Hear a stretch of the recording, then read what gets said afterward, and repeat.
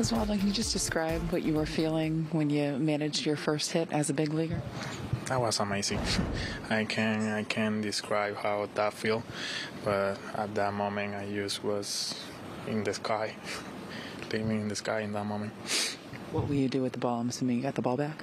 I got the ball, yeah, I got him right there, and that's gonna be for my father. He's the the the person who made this happen for me and my mom, and that ball have to be for him. They were cheering pretty hard up there in the stands for you when they saw you hit that. Just, just how has your dad helped you over the years get to this point? Ooh, he helped me in everything, in everything. He's that the type of father who he doesn't buy something for himself.